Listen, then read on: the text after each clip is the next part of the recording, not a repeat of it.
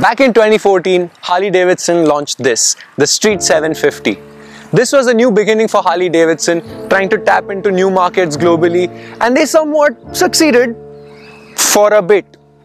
There were cases of early bikes suffering from brake failures, which was one of the reasons the Street 750's reputation turned to the worse.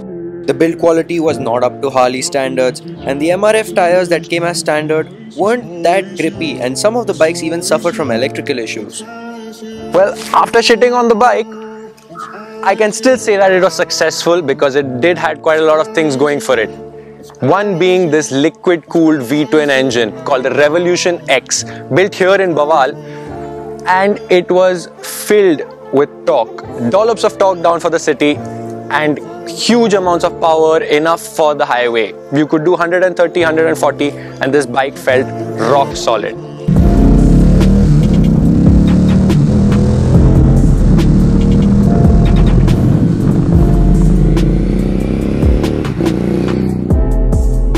Once you swing your leg around the Harley Davidson Street 750, you do realize how low of a bike this is. The seat is pretty wide and comfortable and the compound on it is perfect for long rides. The handlebars are pretty upright and your back also sits pretty upright. However, the mid-mounted foot pegs are a bit of an oddball and I would have preferred my foot pegs to be a little closer to the radiator. However, you gotta deal with it. And the pillion seat is pretty much non-existent, but who cares? But the days of the Street 750 reigning over the middleweight cruiser category faded away because of another twin a parallel twin that dethroned the king of the streets, the Interceptor 650.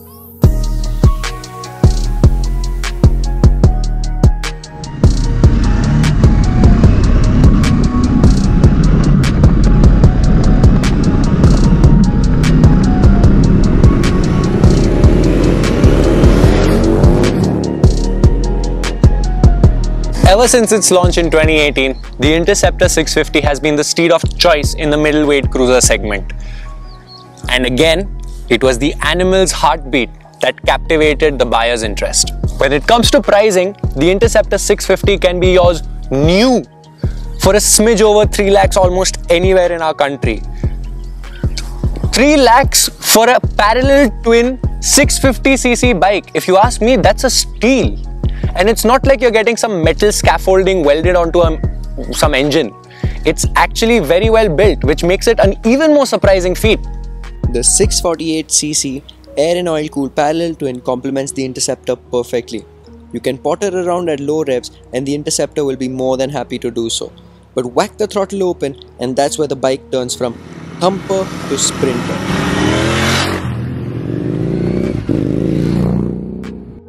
The Interceptor will propel you rather quickly from as low as 3500 rpm all the way up to 7000 rpm. The ByBre brakes in the front and rear have a great bite and are capable of shaving speed efficiently enough. The Street 750 we had on the shoot of course was modified a little. It had gotten an aftermarket exhaust and it made all of the American cruiser bike sounds you wanted.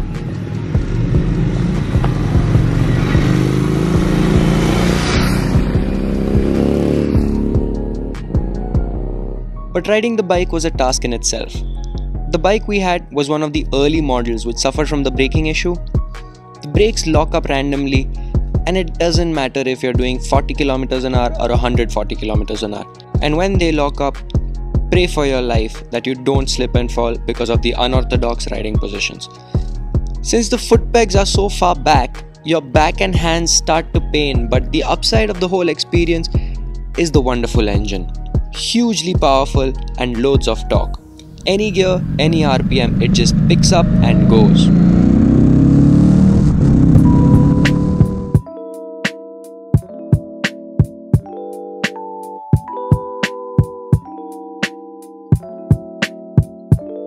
The Interceptor looks like a timeless machine. The big bulging tank and the thin seat, which actually is not that comfortable, makes it look like it's from a different era. The dual exhaust and the chrome finishing gives it that old school retro look except that it's an all new motorcycle and it has been sale for only 2 years now. And if you want an even more prettier version, you can get the Continental 650 which is a retro cafe racer take on the same platform. The Harley has been accused of looking like a Bajaj Avenger, or the Avenger has been accused of looking like a Street 750. Either way, it's not a good image for Harley. Yes, the Harley does look like a more traditional take on what a cruiser bike should be, but you can clearly see the build quality, or dare I say the lack of it. All of these events in Harley's life in India have led them to exit the Indian market, except there is a glimmer of hope. Hero has recently announced that they will be joining forces with Harley Davidson in India to create higher quality, reasonable price bikes, especially engineered to appeal the Indian consumer. The Interceptor 650's character can very easily mask that this is a cut price parallel twin. It's pretty much the cheapest of its sort all over the world. However, I still think that this is the most apt bike for India. It takes bumpy and pimply roads with amazing ease. It's a banger of a ride and the best thing it munches miles super easily. Today we had the street 750 for you guys just to keep it as a benchmark and show you how far the interceptor 650 has come from its competition which was four years old. However if we didn't have this we wouldn't have had this. Thank you so much for watching. This is your boy Bhavneet. See you in the next one